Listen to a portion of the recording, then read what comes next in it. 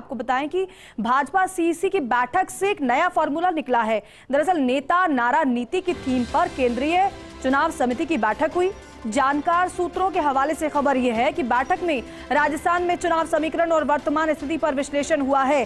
प्रभारी अरुण सिंह और प्रदेशाध्यक्ष सीपी जोशी ने तमाम मुद्दों पर विश्लेषण किया है और वहीं सीईसी के शीर्ष नेतृत्व ने भी राजस्थान पर विस्तार से हर मुद्दे पर मंथन किया है और फिर टिकट वितरण पर फाइनल डिस्कशन के बाद उनतालीस नामों पर मोहर लग गई है।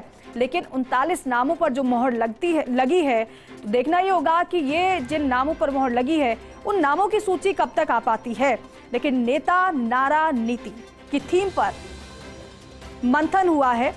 जानकार सूत्र यह बता रहे हमारे, भाजपा प्रत्याशियों की पहली लिस्ट को लेकर अब असमंजस है। इसी बीच कल उनतालीस सीटों पर मोहर लगी है। प्रधानमंत्री की जो तस्वीरें अंदर से सामने आई थी, उनके हाथों में बाकायदा सूची नज़र आई थी। तमाम कयास लगाए जा रहे थे। ये जो सूची है, कौन से राज्य की है? क्या ये मध्य प्रदेश की है? क्या ये छत्तीसगढ़ की है? या फिर ये राजस्थान की है? जहाँ की भी ये सूची है, कई नामों का पैनल उसमें नज़र आए, क्योंकि एक नहीं, दो नहीं, बल्कि तीन तीन नाम उसमें नज़र आए। उन पैनल में से ही छांटना था कि आखिर कौन सा जिता उम्मीदवार है, कौन सा मज़बूत वो उम्मीदवार है जिसको फाइनल किया जाए। जानकारी हमारी ये है कि उनतालीस सीटों पर मोहर लग चुकी है। दिल्ली में प्रधानमंत्री की अध्यक्षता में हुई, कोर ग्रुप की बैठक में मोहर लगी है, लेकिन अब भाजपा के सामने अहम सवाल ये है कि आखिर कब जारी करें ये लिस्ट पहले थी इस लिस्ट के, कल या आज में जारी होने की चर्चा। इसी बीच वसुंधरा मैडम द्वारा भाजपा आलाकमान को सलाह दिए जाने की चर्चा। ये लिस्ट श्राद्ध पक्ष के बाद जारी करने की सलाह दिए जाने की चर्चा। है। एक दूसरे सूत्र के अनुसार, प्रधानमंत्री की दो और पाँच अक्टूबर की यात्रा के बाद किसी भी दिन जारी हो सकती है लिस्ट, ताकि इन दोनों यात्राओं के दौरान टिकट वितरण को लेकर प्रत्याशियों में नहीं मचे कोई खलबली। तो देखिए, हालाँकि प्रत्याशियों में खलबली तो मची हुई है, वो इसलिए कि जो जहाँ से दावेदारी कर रहा है, क्या उसे वहाँ से टिकट मिल रहा है, किसका टिकट कट रहा है, और क्या वाकई में सांसदों को विधानसभा चुनाव लड़ाया जाएगा। मध्य प्रदेश की तर्ज पर भाजपा प्रत्याशियों की पहली सूची का काउंटडाउन जो है वो जारी हो चुका है।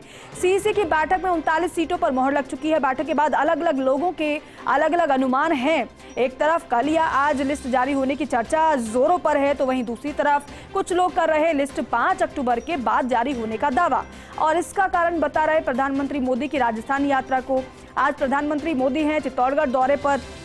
वही पाँच अक्टूबर को है मोदी का संभावित जोधपुर का दौरा भी। ऐसे में लोग संभावित रिएक्शन के चलते पाँच अक्टूबर के बाद ही लिस्ट जारी होने का दावा कर रहे हैं। लेकिन दावों में कितना दम है, ये तो आने वाला समय बताएगा, क्योंकि प्रत्याशियों की सूची के काउंट डाउन की बात की जाए तो वो तो शुरू हो चुका है, क्योंकि सीईसी की बैठक हो चुकी है और सीईसी की बैठक में उनतालीस सीटों पर मोहर लगाई जा चुकी है। लेकिन कौन कौन सी उनतालीस सीटें वो होंगी? कौन सी कैटेगरी की सीटें होंगी और कब तक ये सूची जारी होने वाली है? क्या अभी भी कुछ सीटों पर मंथन बाकी रह गया है या फिर सब कुछ पहली सूची के लिए फिक्स हो चुका है, मोहर लग चुकी है? ये देखना बाकी है, लेकिन फ़िलहाल कुछ लोग अलग अनुमान लगा रहे हैं, कुछ लोग अलग अनुमान लगा रहे हैं, क्योंकि कुछ नेताओं का ये अनुमान है। ये कहना था कि श्राद्ध पक्ष के बाद ये सूची पहली आनी चाहिए। तो आलाकमान की तरफ़ से ये कह दिया गया, चलिए देखते हैं। लेकिन सवाल यह है कि अब आगे कब तक पहली सूची सामने आ पाती है? क्योंकि प्रधानमंत्री का संभावित पाँच अक्टूबर को जोधपुर का दौरा भी है।